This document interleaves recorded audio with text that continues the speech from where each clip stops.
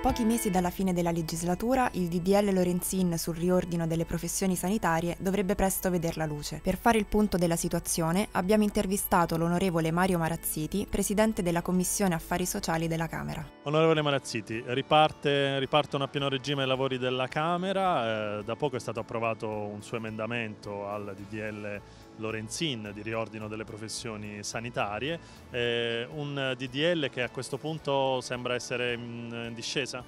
Ma sicuramente noi abbiamo eh, sempre avuto la eh, decisione di portarlo a termine. Direi che noi eh, per la fine di eh, settembre avremo chiuso in commissione, penso la settimana prossima, tutto il provvedimento e la seconda settimana di ottobre dovrebbe vedere la luce in aula. Quindi c'è il tempo poi per il Senato eh, dell'ultimo passaggio e eh, sto lavorando anche con la collega De Biasi, con i senatori, perché eh, i cambiamenti che andiamo a introdurre siano un po' condivisi a monte, o condiviso a monte almeno lo spirito migliorativo del testo che non vuole stravolgere in nessun modo quello del Senato. Quindi in modo che questa legge veda eh, la luce veramente entro la fine della legislatura e diventi legge.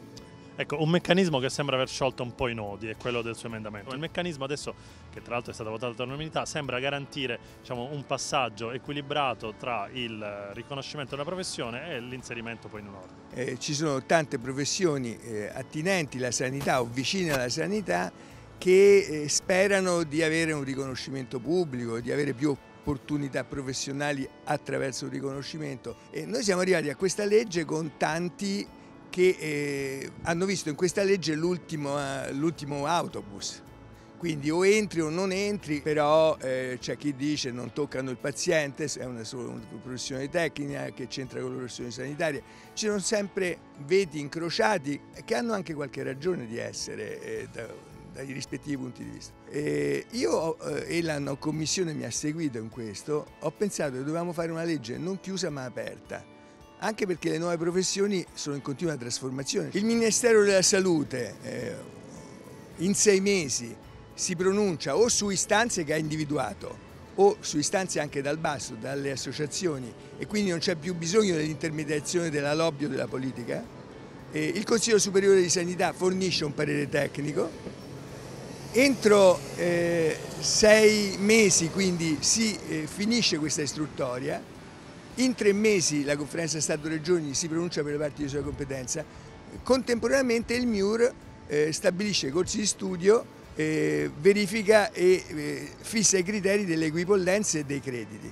Quindi in nove mesi tendenzialmente si può avere la certezza che la propria eh, aspirazione venga presa in considerazione. Chi abusivamente utilizza eh, il titolo di quella professione non lo può più fare perché questo va a vantaggio anche degli osteopati veri, degli chiropratici veri, degli odontotecnici veri, degli altri veri. In base a questo siamo poi arrivati all'articolo 4.5 chiropratici osteopati, quindi noi individuiamo le due professioni come le prime due che seguiranno questo percorso, ma per l'istituzione vera e propria bisogna ovviamente aspettare che questi 6-9 mesi passino e venga fatta tutta la trafila come tutti gli altri. A questo punto si crea un, direi, un criterio di giustizia eh, e un criterio di trasparenza.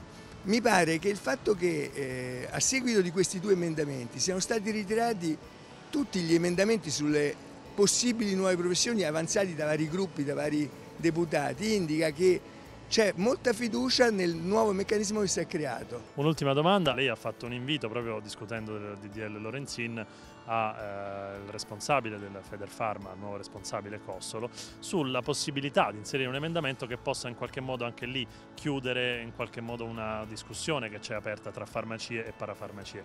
La risposta diciamo, non è stata molto positiva. C'è questo veicolo, eh, il DDL Lorenzin, quello cosiddetto sulle professioni sanitarie, che arriverà in porto.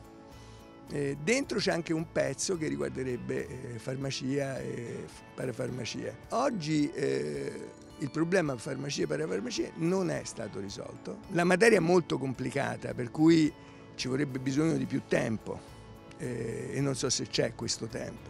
Io ho fatto un invito, eh, metto a disposizione la possibilità che abbiamo, perderla vuol dire semplicemente lasciare come stanno le cose e la prossima legislatura e quindi anni. Quindi io condivido la preoccupazione del Presidente eh, di Federfarma che dice ci vorrebbe uno strumento ad hoc, una legge quadro, però noi abbiamo questo strumento e poi la legge di bilancio. Se le due parti, cioè i due mondi, non due sigle, volessero trovare una soluzione, una via di soluzione, abbiamo questi due strumenti. Oppure non c'è problema. A un certo punto del percorso, parafarmacie che non vendono farmaci e farmacie che vendono farmaci e fanno un servizio di salute pubblica avanzata nel territorio. Eh, per fare questo c'è il problema de, forse di fermare i, con, i codici univoci, cioè di fermare l'apertura di nuove parafarmacie, identificare quanti sono davvero i farmacisti che avrebbero eh, necessità di seguire un percorso eh, nuovo. Eh, terza cosa, separazione eh, dei gruppi eh, proprietari, cioè i farmacisti che hanno partecipazione in farmacia non dovrebbero avere partecipazione in parafarmacia. Questo è un po' più complicato eh, con la legge sulla concorrenza che eh, apre ai gruppi, eh, solo, ai gruppi economici e non solo ai singoli farmacisti.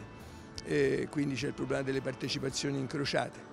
E a questo punto per forza di cose bisogna creare dei canali di riassorbimento dei farmacisti eh, che oggi operano nelle farmacie o sono titolari solo di parafarmacia e questo percorso dovrebbe essere un percorso che garantisse anche ai farmacisti in difficoltà, cioè il problema dei farmacisti rurali, si tratta di ampliare eventualmente eh, il numero delle farmacie in Italia, in parte attivando quelle non attivate dal concorso diciamo, eh, della gestione del Presidente Monti e evidentemente aprendone altre. Andando a vedere dove mancano, cioè va fatto uno studio più accurato e più dettagliato del territorio, dei bisogni regionali, però su questi principi eh, tutte le parti che finora si sono confrontate e che ho ascoltato eh, sembrano in linea di principio convergere. Io eh, ora sentirò anche